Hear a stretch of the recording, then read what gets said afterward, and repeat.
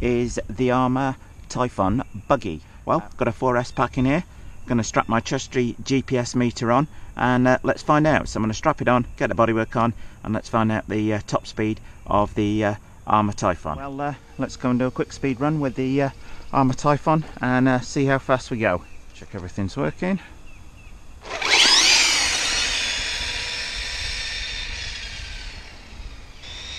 I think we can say it goes quite fast.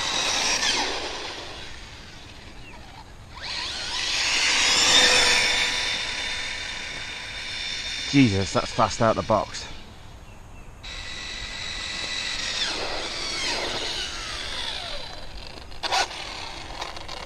Well, let's get it open and uh, see what speed we recorded on there. That is way faster than I thought it would be. Well, the uh, Arrma Typhon's top speed 35 miles an hour as that quick demo run has just shown. Uh, that's exactly what it says it should do uh, with a 4S pack fitted. So between 30 and 35 miles an hour, so at the top end of that. So uh, I'm going to try it with 6S tomorrow with the stock gearing, then change the pinion and uh, do another speed run. Well thanks for watching and if you did like this video then please do like and subscribe.